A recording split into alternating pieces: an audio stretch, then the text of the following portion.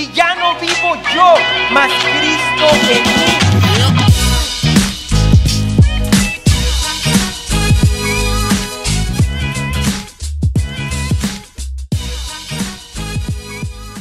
Hey guys, thanks for joining me. This is the first video blog in my YouTube channel. So if you like it, please subscribe, hit the, the like button, share it, hit the little bell, okay? So listen, today I want to talk to you about a few things that have been on my mind. We have all been quarantined and, and 25% of us can go out now, sort of. can go to restaurants and stores and stuff like that. But listen, uh, I recently started hearing about this guy whose name is Captain Charles Plumb. And Captain Charles Plumb was a fire uh, a fighter pilot. And um, I want to tell, talk to you about the story of his sort of quarantine time. And uh, you can read more about it if you're interested. Uh, you can go learn about it in the book called Lessons from Hanoi Hilton. And that's by um, Taylor or whoever. Look it up. You'll find it. And, and I think you'll, you'll find you'll find that it's very interesting. He talks about prisoners of war during the Vietnam War. And so here comes uh, Captain Charles Plumb. He was set to maybe be a NASA pilot and the, war, the Vietnam War happens. He's out there flying, gets into combat battle, and has to eject from his airplane. So he lands in enemy territory in Vietnam and he gets taken and he goes to prison. He ends up being in prison for six uh, six years, uh, a little longer than six years. And he tells a story. You could probably even find a TED, TED talk, to be honest with you. And he tells a story where he had maybe eight, eight, uh, eight feet in his cell and he would take three steps and then three steps back and he was tortured and he was questioned and he was beaten and he was living in this prison for like i said over six years. So one one of the three things that uh, that captain charles Plumb talks about is having a packed parachute. It was so important for him to have a, a good packed parachute and he, he talks about meeting the guy that actually packed his parachute and uh, shaking his hand one time and saying, "Hey, I guess it worked," because he he was able to land safely. Uh, from when he had to eject from the airplane. And listen, he talked about being in the in the prison, how it was so vital for him to have a packed parachute, and not just a parachute, but those things in in his life, those experiences in his life. He talked about how the packed parachute for him was those experiences he learned as a kid, those instructions he learned from his parents and, and his family, maybe uh, the, the things he learned at school, uh, things that you learned with community. Listen, um, as we're dealing with this quarantine, I want you to think about that because we have kids at home right now that, that are being homeschooled. Maybe you're working from home. Uh, the, the world is changing quite, quite a bit. And listen, we're packing our children's parachute. We're preparing them for the things to come in the future. Listen, they may have to uh, jump off of an airplane. May we be packing a good parachute. May we teaching, maybe we teaching, may we be teaching our kids how to thrive through adversity and how to not fall into fear, how to um, survive in in uh, the next pandemic or the next crisis how they can survive even when we lose our job or even when things don't look good maybe when when things change and and stuff happens right?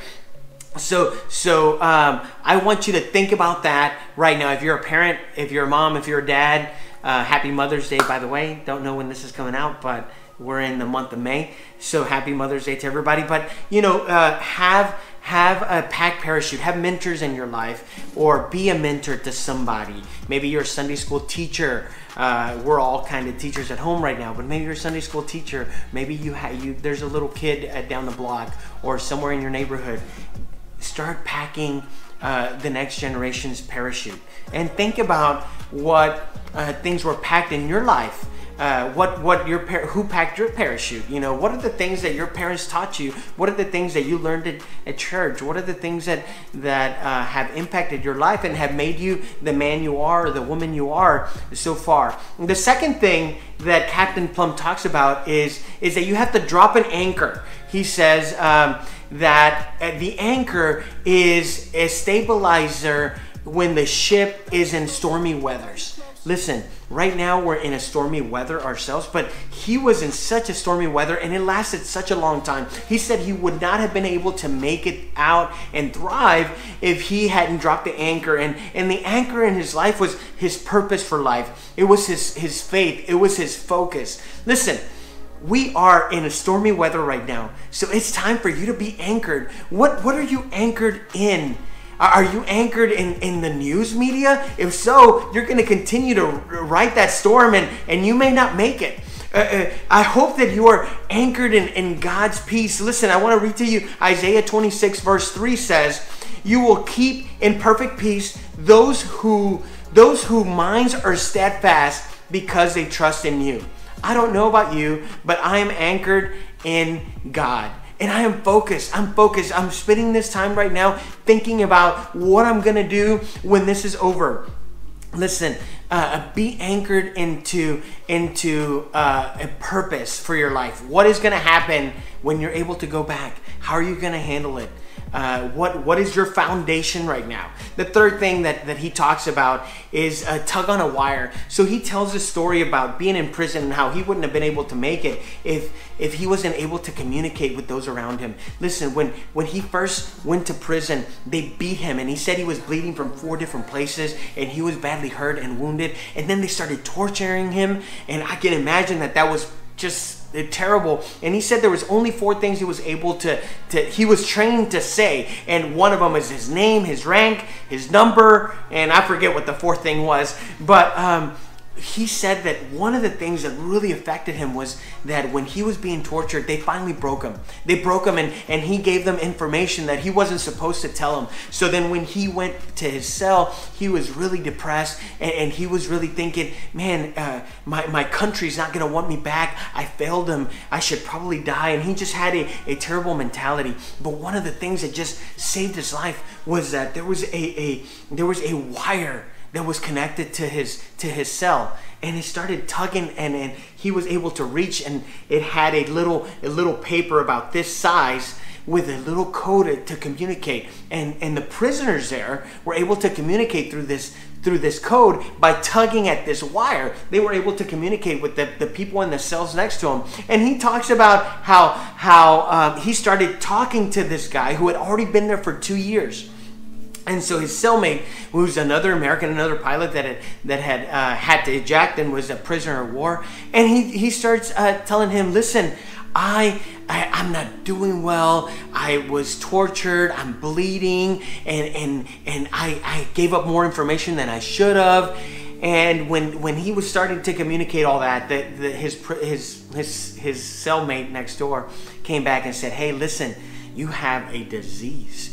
This, and this disease is called a prisoner thinker. Imagine that, a prisoner thinker. He was beaten, he was hurt, he was bleeding, he had fallen, you know, he had had, had to escape off of this airplane that was being shot at. And, and, now he was sitting in a cell that he could barely move. It was a wall. He had no windows. They had taken everything from him. They took his clothes. They took. They they left him almost naked. And not even that, they even took his name from him. They gave him their own name uh, that they decided to, to name him in Vietnamese. So they didn't. They even took his name from him. And he's sitting there and he's realizing, what are you talking about? We're sitting in a prison. Of course, I have. Uh, I'm a, I have. Uh, uh, I have a, a prison mind and, and I'm a prison thinker. And he said, You're not to make it. You're not to make it if you continue to have that mindset. Listen, he started telling them, Don't worry about it. Don't worry about it. We've all failed. We've all fallen. We've all given more information than we should. But right now, our commanders are giving us a new order. And the order is in, in three words it says, Return with honor. And he said, So buck up don't worry about it. You need to you need to change your thinking. You need to have a good anchor. You need to think about what you're going to do when you get out. You need to refocus right now and only worry about returning with honor.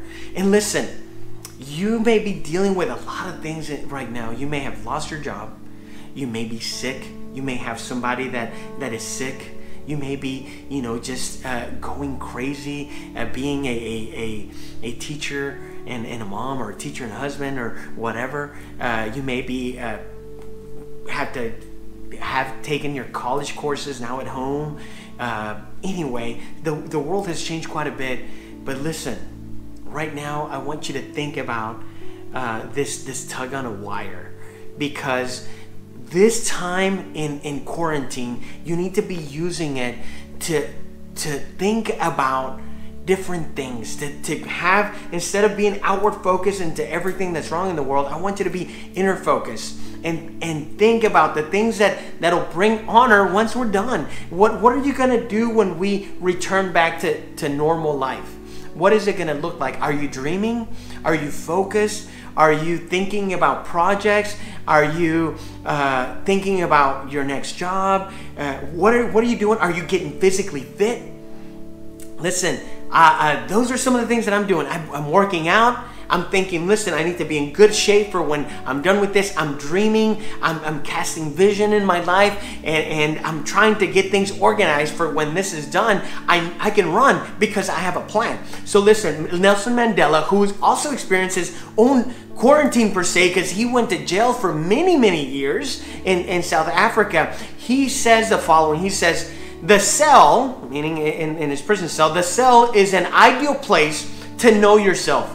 People tend to measure themselves by extending by external accomplishments, but jail allows a person to focus on internal ones, such as honesty, sincerity, simplicity, humility, generosity, and an absence of variety. You learn to look into yourself. So right now, Listen, many of us have wanted to go out to these amazing restaurants. We can't. Many of us wanted to go to these awesome malls. We can't. There's a they, they took parks from us. We couldn't even go to the parks. And they took so many things that, that we were used to doing, and now we're kind of prison at home. And, and you know what? It's crazy to, to know that domestic violence has actually gone up instead of gone down. Uh, families are, are, fighting against each other and, and going crazy. Not only that, but but suicide hotlines and, and, and mental facilities, the, the, the call centers, the percentage of, of call centers has gone up 850% over this pandemic. People are worried, people are anxious, people are are are not focusing on the right thing. Listen, I want you to know that that it, I'm stressed out as well. Uh, I've, I've had days when when I felt like maybe uh, a Captain uh, Plumb and, and and and I needed to tug on a wire. I've, I've had days when I've I've had some anxiety, and it's okay. It's okay, but don't stay there. Tug on a wire and have somebody tug back at you and tell you it's gonna be okay. Don't have that prisoner uh, thinking mentality. Just uh, uh, have joy have have a good anchor. Focus on what's to come. And listen listen listen to to this. This is something very important that's in that book that i'm telling you about the hanoi hilton. It, out, of, out of all the prisoners that went to to that were in the vietnam war it was 591 of them okay? Uh, only 4% of them came back with ptsd and out of everybody else that went to war, which was thousands and thousands of, of soldiers that went to war, it was 30.6% that came back with PTSD. Imagine that.